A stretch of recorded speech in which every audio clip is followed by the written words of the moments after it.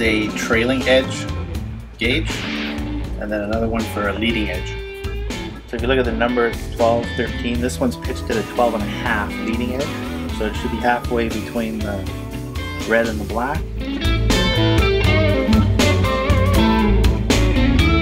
So this is a trailing edge gauge, 18 is the red. You follow that right down here, kind of lines up with the trailing edge of the impeller. We found with the intercooler that we're hitting the rev limiter, so we need a steeper pitch. We're gonna take this and bend this down about one millimeter on all the blades.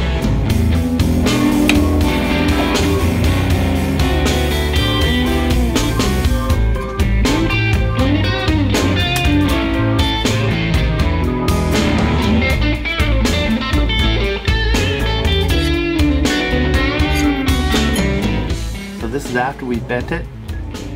Before?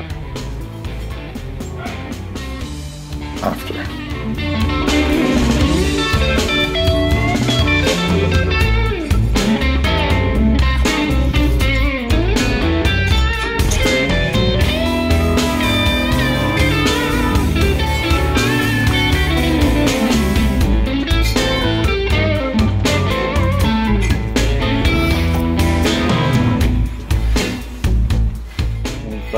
Four blades pretty consistent.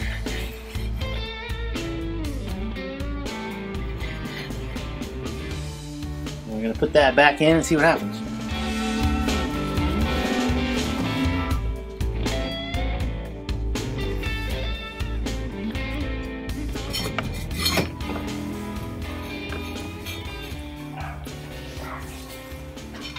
Torque it down to 59 foot-pounds.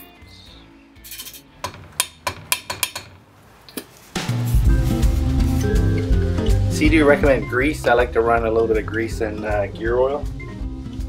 I'm just going to add just a little bit.